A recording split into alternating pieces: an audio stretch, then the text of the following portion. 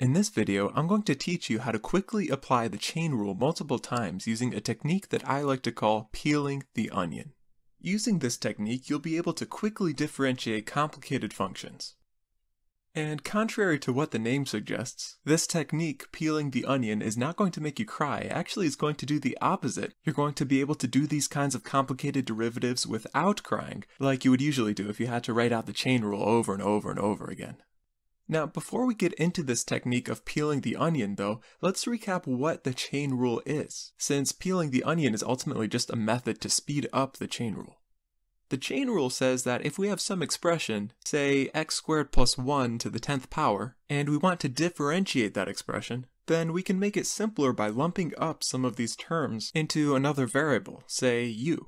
So the whole expression simplifies, it's just u to the 10th, and that's what we want to take the derivative of, and we can do that just like normal using the power rule, but the only catch is that we have to multiply by du dx afterwards. But that's okay because taking the derivative of u is a lot simpler. u is just x squared plus 1, so we can sub that back into the expression, and the derivative of x squared plus 1 is just 2x.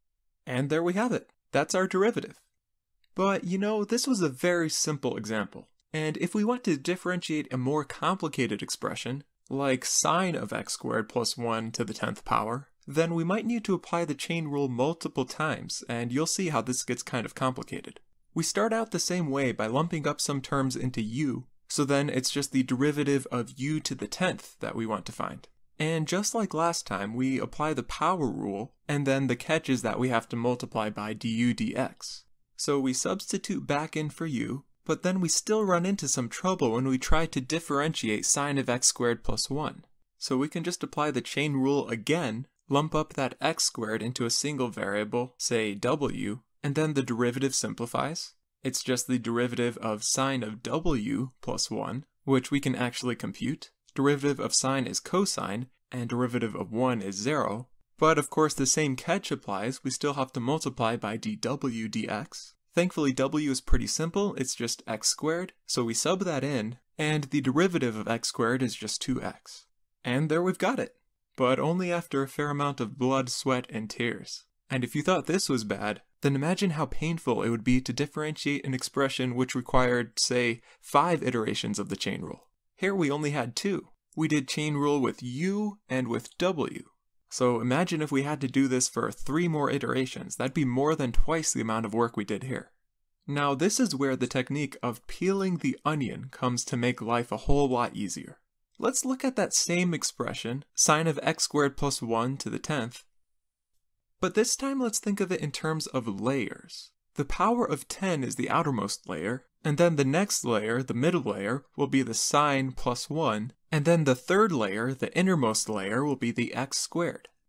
Now when we differentiate this, what we do is we start with the outer layer and we differentiate that, and then the rest of the stuff that we fill in, we have to differentiate in the same way. Now when we evaluate this derivative here, again we're just looking at the outermost layer. But now we've already peeled off one layer, so it's just the sine plus 1 that we want to differentiate. It's just cosine, and then we fill in the next layer, the x squared, and that's what we have to differentiate now. And that's pretty straightforward, it's just 2x. And there we go, same answer as before, but a lot less work. And once you practice this peeling the onion technique a couple times, you'll get to the stage where you can do this all in one step. First, differentiate the outer layer, that was the 10th power here, and that went to 10 times the inner stuff to the 9th power. And then we take the derivative of the next layer, the next layer is the sine plus 1, derivative of that is just cosine, and then fill in the inner stuff. And then the final layer is just the x squared, and the derivative of that is 2x. It's like we're peeling an onion one layer at a time. And now that we see how peeling the onion works on a three layer onion, let's try something crazy.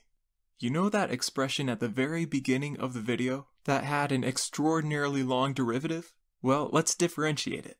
We'll do this by peeling the onion, and really it's just going to take a single step of work. Now this expression is a little sneaky because the sine squared actually means take the square after you take the sine. So the outermost layer is really the squared. And then after that is the sine. And after that the x plus e to some power, and the next layer is in the power of e, it's the tangent, And I'm running out of colors because this is a lot of layers, so I'm just going to use red again. And the final layer, the innermost layer, is the 3x inside of the tangent. So let's go ahead and peel this onion. The first step is to peel the outer layer, the squared, and for that we just use the power rule. We fill in the inner layers, and then peel the next layer, which is the sine. Derivative of sine is cosine. We continue on peeling the next layer, which is the x plus e to some power. x is easy to differentiate, that's just 1. E to some power just stays e to some power. And because the next layer is entirely in the power of e, it's only the e that gets multiplied by the derivative. So we're going to multiply by something inside of the parentheses here. And that something that we multiply will be the result of peeling the next layer. The next layer is the tangent, and derivative of tangent is secant squared.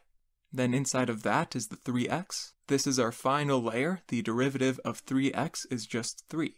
And there we go, we've got it. That's the derivative.